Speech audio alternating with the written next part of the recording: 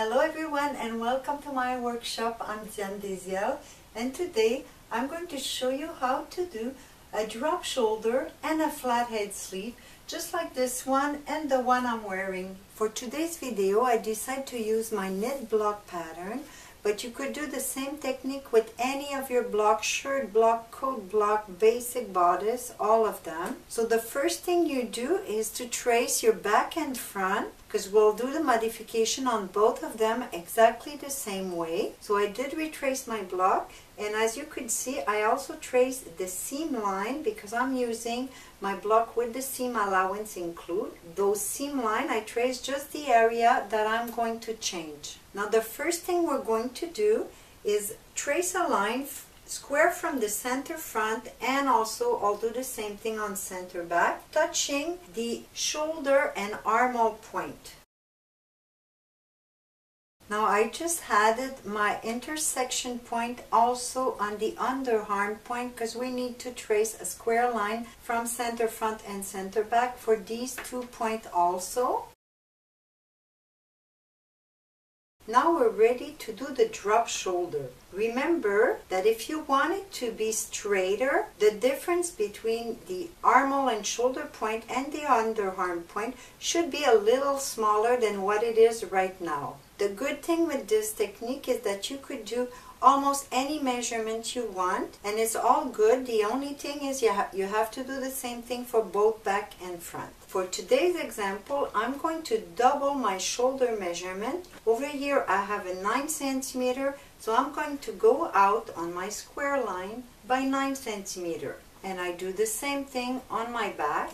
Now what you have left to do is just retrace from your neck point to that new point. Now you should remember that if you want to change your neck, you should do it before retracing your shoulder and start your new shoulder from that new neck point.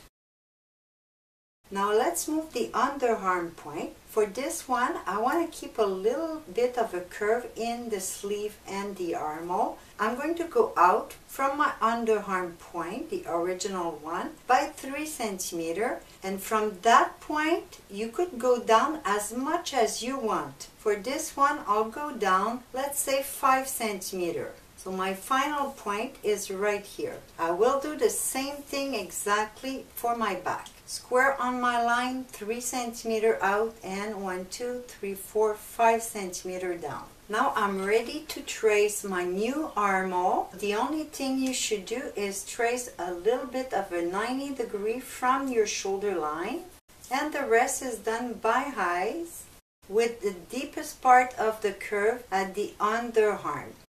Same thing on the front, a little bit of a 90 degree. The last thing we have to do is to trace the side seam and I would do it 90 degree from the underarm line that we did or parallel to center front and back.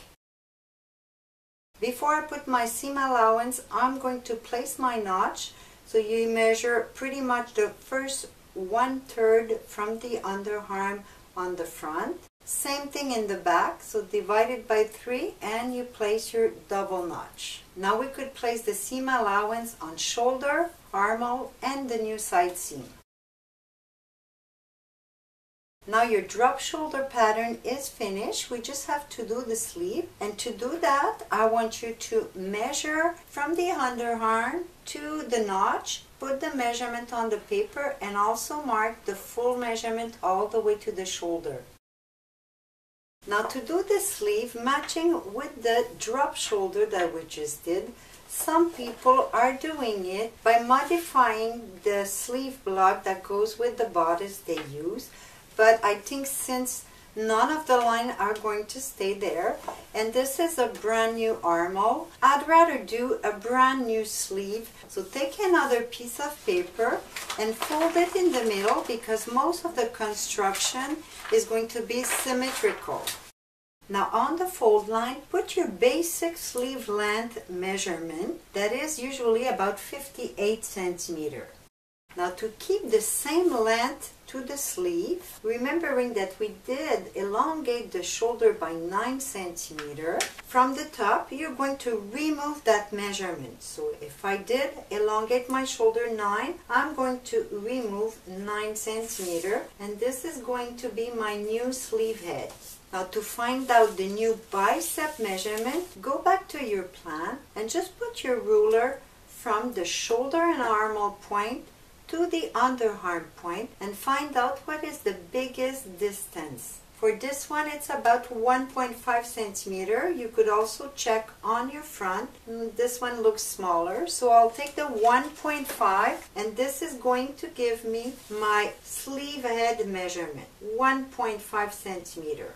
Trace a square line, then again on your plan, just had both measurement of the back armhole and the front armhole. In that case, it's 44.9 and divided by 2, so we make the sleeve perfectly even on both sides. Now you take this half measurement starting at the sleeve head. I have 22.45 and when your 22.45 touches the line, you trace now I'm going all the way to the bottom, square a line, and on this line you put the width you want your sleeve to be at the bottom. The sweater that I show you at the beginning had a wider cuff, so for this one I'm just going to do it square from my underarm point, so it'll be a wide sleeve all the symmetrical area is done so I'm going to trace to report those points on the other side the bottom and underarm seam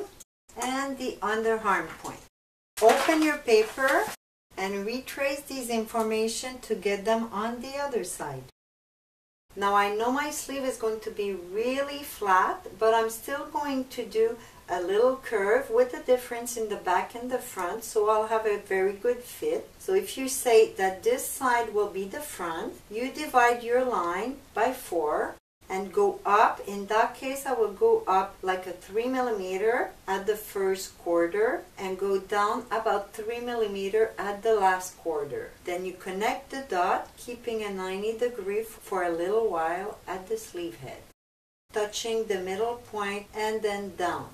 Now on the back side, you're going to divide the line by 3 and go up this time a little more, like a 0.6, and then down a little bit between the last third and the underarm point, maybe 2-3 millimeter. Then connect all your lines.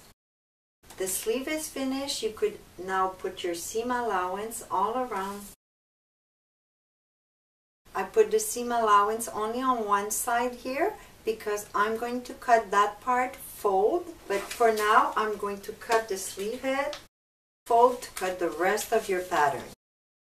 The last thing you'll have to do is to report the notch level from the armhole to the sleeve head and you're going to do it the same way you took the measurement I mean from the underarm point. So this is my front and then on the back the second notch a centimeter further about the sleeve head notch matching the shoulder. If you remember, I had a difference of one millimeter bigger on my front. In that case, the difference between my front and my back armhole was only one millimeter. That means I'm going to put my notch or shoulder notch half the difference towards the smallest side. In that case, half a millimeter towards the back. My sleeve piece is also finished.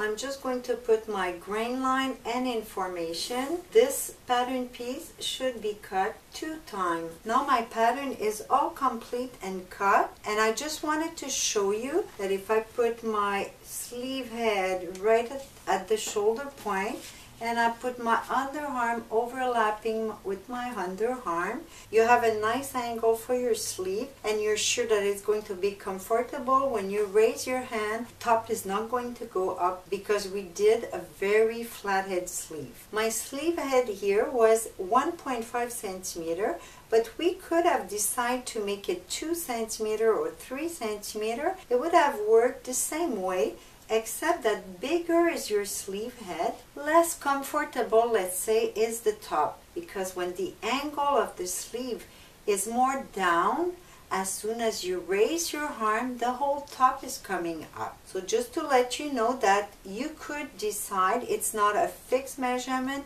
it could be many measurements and it's all good. That's it for today. I hope the video will be helpful. Thanks for watching and I see you next time.